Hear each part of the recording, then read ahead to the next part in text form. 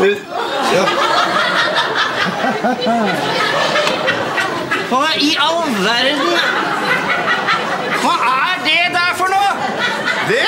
Ja, Det er Jesus.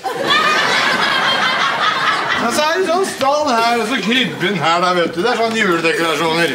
hva? Ja, men det er fullt av gress og dritt og møkk her, jo. Det er gress og dritt og møkk i staller. Du, du, Riverud. Se, se nå.